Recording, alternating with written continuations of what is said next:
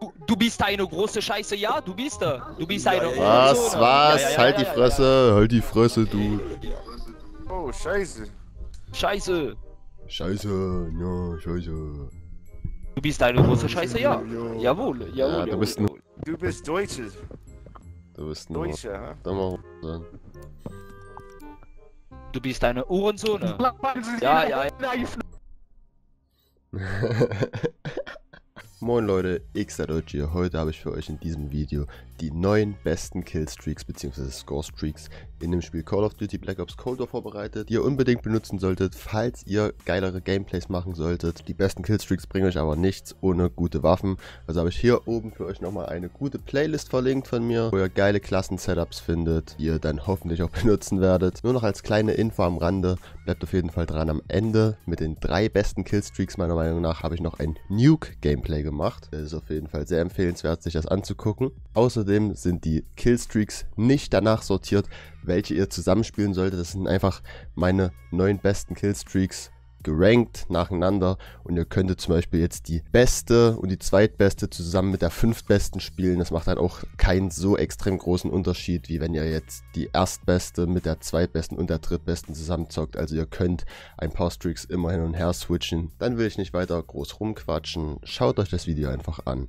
So, also Platz 9, 8 und 7 war auf jeden Fall echt schwer, sich zu entscheiden. Ich habe mir gedacht, auf Platz 9 packe ich einfach mal den Marschflugkörper, weil, naja, ihr setzt ihn einmal kurz ein und dann sind halt die Kills gemacht worden. Ihr kriegt damit fast immer mindestens einen Double Kill, wenn nicht sogar einen Triple Kill. Also das sind verdammt easy Kills.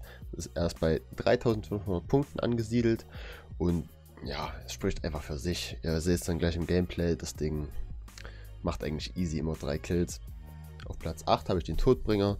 Ganz einfach, das Ding ist echt verdammt stark. Ihr könnt damit gut Gegner auf Entfernung, vor allem auch shredden. Aber das Problem ist, falls ein Gegner unerwartet um eine Ecke kommt, dann dauert es ein wenig lange, meiner Meinung nach, zu schießen und ihr könnt dann easy mal sterben. Auf Platz 7 habe ich dann den Vitol Jet. Der ist ganz einfach, weil er echt viel kostet. Aber dafür halt, ja, er macht gut Kills, aber ja, das, er ist halt bloß Platz 7, weil es trotzdem echt viele Punkte sind dafür, was ihr bekommt. Schönen Call-Outen. Ja, schön. Okay, ne?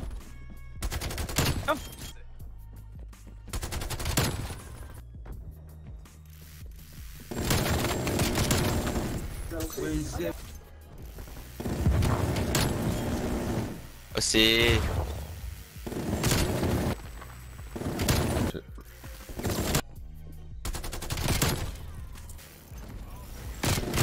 Oh mein Gott.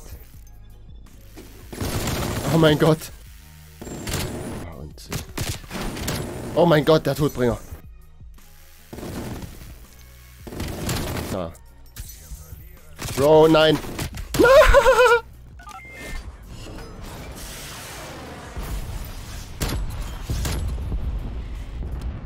Oh mein Gott, geh nicht so weit. Äh. Ja, äh.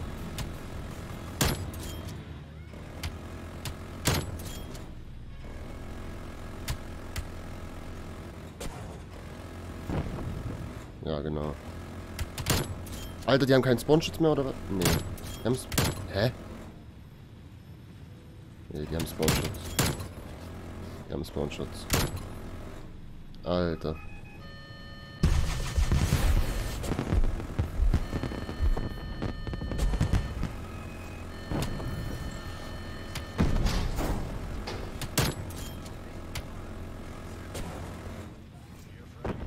Hä?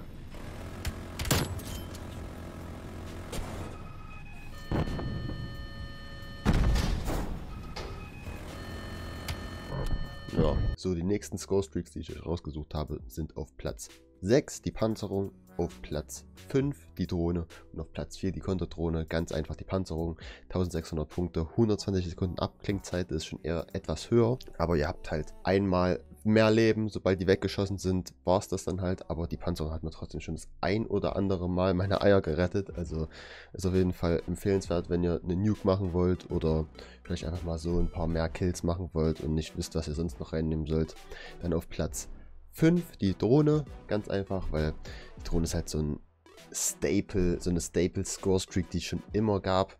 Ihr seht halt auf der Map für eine Minute lang die äh, gegnerischen die gegnerischen Punkte, falls die Gegner keinen Geist haben oder Geist haben und sich nicht bewegen. Die Abklingzeit ist 90 Sekunden, ganz standardmäßig, aber die Drohne ist auf jeden Fall sehr einfach zu erspielen und hilft euch auch dabei, die folgenden Score-Streaks zu erspielen. Auf Platz 4 habe ich die Konterdrohne ganz einfach, weil die Konterdrohne ist echt extrem nervig für die Gegner. Wenn ihr sie raushaut, die Gegner können einen Harp haben, sie können eine Drohne haben, es bringt ihnen alles nichts, weil ihr einfach das Radar blockiert. Ich habe genau aus diesem Grund, weil das so viele Leute spielen, auch immer eine Luftpatrouille dabei, die ich einsetze, falls die Gegner eine Konterdrohne benutzen. Ja, jetzt genießt das Gameplay.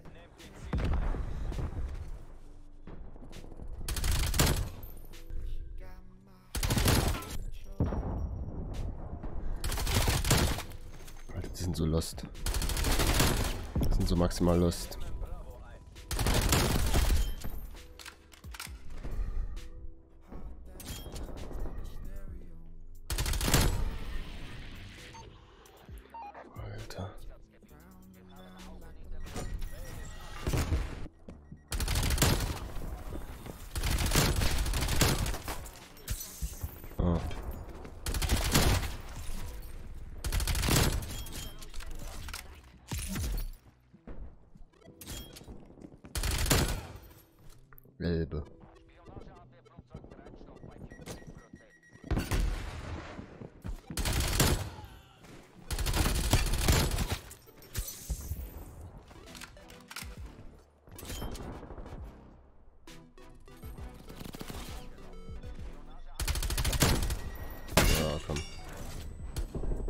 Mann, Mann.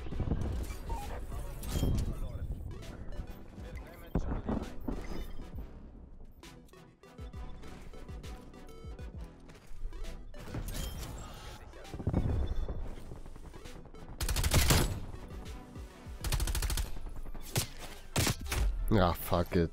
So, jetzt sind wir bei meinen absoluten Lieblings-Score-Streaks angekommen. Das wäre einmal für 2400 Punkte die Luftpatrouille. Die drei Streaks spiele ich auch immer so, wie sie hier gerade sind, zusammen. Ihr könntet rein theoretisch die Luftpatrouille gegen eine Drohne, Konterdrohne, Panzerung umtauschen. Manchmal habe ich auch einen Todbringer gespielt. Vital Jet spiele ich persönlich nicht so oft, weil ich eher mehr auf Nukes gehe. Aber die Luftpatrouille habe ich immer dabei, falls der Gegner einen Harp hat, falls der Gegner eine Konterdrohne hat. Falls ich keinen Geist habe und die haben eine Drohne, setze ich die ein und alles, was am Himmel ist, wird sofort zerstört. Nicht sofort, aber mit 5 bis 10 Sekunden Verzögerung. Dann die Kriegsmaschine, absolut geile Killstreak. Ich kann es euch nur ans Herz legen. Diese Waffe zusammen mit dem Harp, was meiner Meinung nach die allerbeste Killstreak ist, weil ihr für eine Minute lang alle Gegner auf der Map seht, egal ob sie Geist haben. Der Harp zeigt euch live die Gegner an, in welche Richtung sie gucken. Ihr könnt alles predikten, ihr könnt die Gegner pre-fire um die Ecken und dann kombiniert mit der Kriegsmaschine. Boah, das ist so eine göttliche Kombi. Ihr könnt die Gegner so krass um die Ecke holen. Guckt euch auf jeden Fall das Gameplay an. Das war eine News, war extrem geil.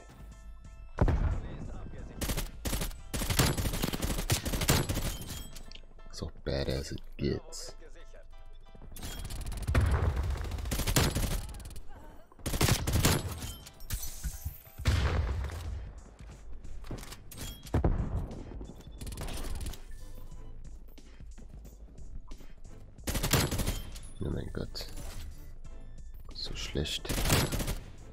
Alle so schlecht.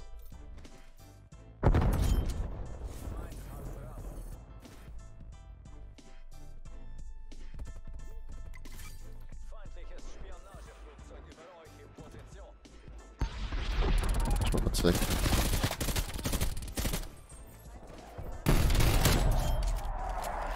Ah, Okay. Okay.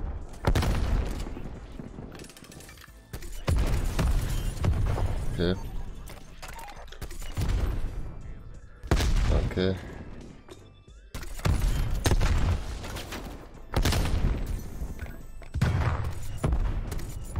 Okay.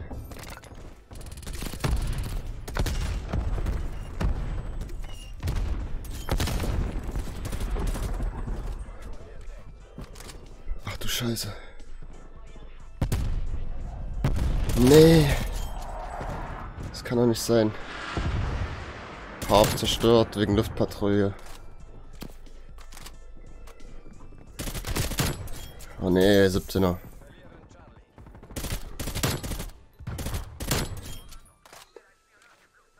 Ah, fuck.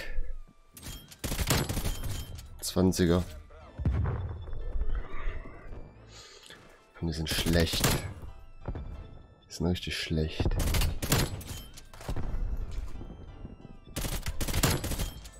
Dreiundzwanzig. Und nicht snipen. Du snipest mich nicht. Bro. Oh mein Gott.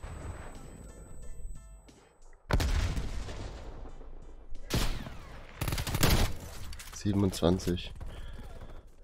Oh nee, oh die Fl es rushen zusammen die Spawns.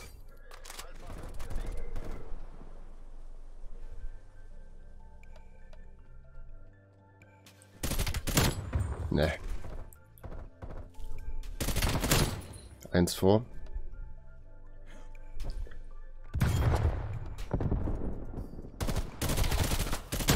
Jawohl. Schön. Schön. Ja, und dann werde ich gesniped. Scheißegal, aber...